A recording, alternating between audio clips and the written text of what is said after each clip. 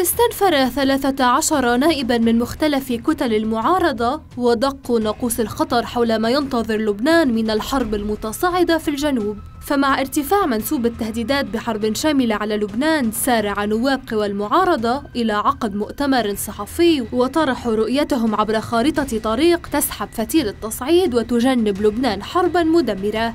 وتم التأكيد على عدد من النقاط. جينا نقول إنه اولا آه، لعدم ربط المسارات آه، المسار الحرب بفلسطين مع لبنان مع بعضهم اثنين لتطبيق كافة القرارات الدولية وخاصة القرار 1701 آه، وثلاثة عم ندعي الحكومة إنها تاخذ مسؤوليتها وإنها تحط حد للتفلت يلي عم بيصير بالجنوب وتسليم الجيش جميع الحدود اللبنانية شمالا وجنوبا لحتى نقدر نطلع من هالمشكله اللي واقعين فيها. في وقت تكثر فيه اجتماعات وبيانات وتعليقات قوى المعارضة على الحرب الدائرة في جنوب لبنان نرى أن كل ذلك لا يحرك لدى حزب الله ساكنا ولا يغير شيئا من واقع الأمور.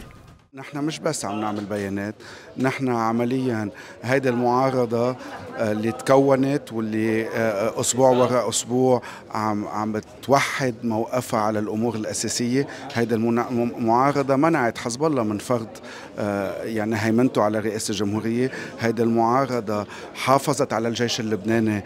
بالتمديد ونحن مكملين إلى جانب الشعب اللبناني. إيه نعم نحن معترفين أنه قرار البلد والمؤسسات الدستورية وقرار اللبنانيين مخطوف.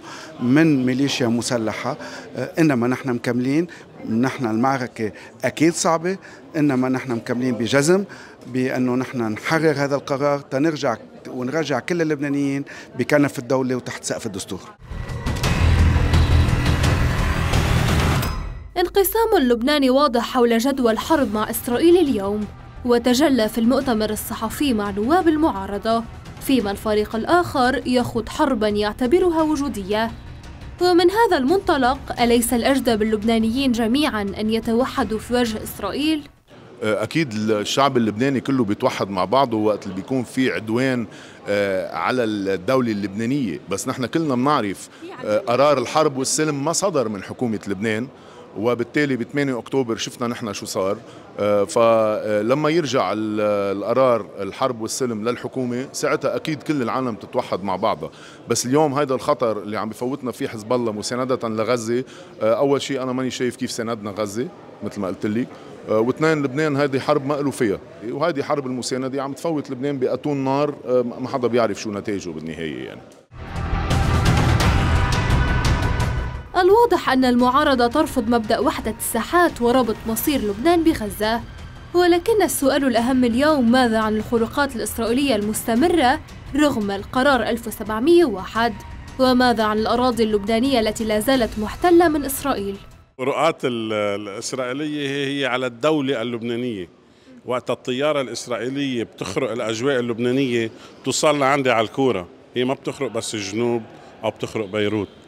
فإذا هي تنتهك السيادة اللبنانية وبالتالي الدولة اللبنانية هي هي من يجب أن تتحرك وهي تتحرك وهي عم تسجل كل هيدي الاختراقات يلي نحن ضدها ويوم من الأيام كل هيدي الحقوق حترجع لنا.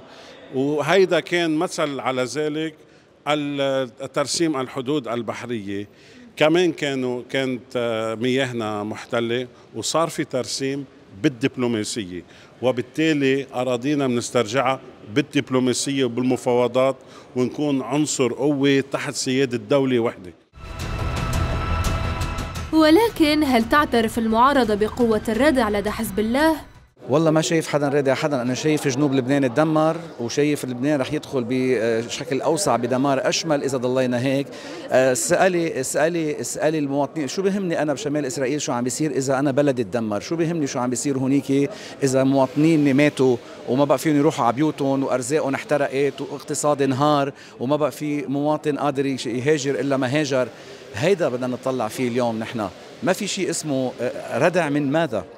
يعني في مجتمع دولي يردع في بوارج واقفة على البحر اليوم ممكنة أن تردع في آه، دول كبرى تردع وتوقف الحروب وتتدخل في الحروب لردعها وإيقافها. الدول الكبرى واقفة إلى جانب إسرائيل منا واقفة إلى جانب لبنان. نحن علينا أن يكون لدينا العلاقات الكافية والوضع الكافي للبنان لأن يستجر العالم كله ليوقف مع لبنان دائما وليس أن نقوم نحن باستجرار الحروب إلى لبنان وخاصة حروب الآخرين وخدمه أجندات خارجية خاصة أجندة إيران على شرق البحر المتوسط. هذه ما شغلة لبنان يعملها. المواطن اللبناني شغلته يحمي لبنان بس.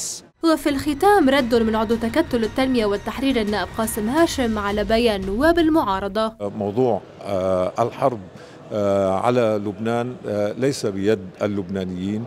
موضوع الحرب أو السلم أو عدم إطلاق آه، أو دفع الأمور إلى آه، الحرب الأوسع آه، هو مسؤولية العدو الإسرائيلي وهو بيده الحرب والسلم منذ عام 48 حتى اليوم. فلنفتح آه، طبعا آه، كل آه، آه، السجلات التاريخية آه، للعدوانية الإسرائيلية. منذ 48 من اللحظة الأولى الذي تعرض فيها آه، لبنان للكثير من المجازر والانتهاكات وانتهاكه للسيادة اللبنانية ودخوله الأراضي اللبنانية حتى اليوم يؤكد آه، أن من يعتدي هو العدو الإسرائيلي. فأي آه، خروج عن هذه القاعدة إنما ال- هو يسيء إلى لبنان ولا يخدم لبنان وقد يرى العدو بشكل أو بآخر ذريعة أو رسالة يستخدمها ويستثمرها في حربه على لبنان واللبنانيين وهذا ما يجب الانتباه إليه وعلى الجميع أن ينتبه لمفرداته ولسياساته لأن مصلحة البلد يجب أن تكون فوق المصالح الفردية والسياسية وأي ارتباط خارج المصلحة الوطنية الجامعة إنما يضر بلبنان واللبنانيين.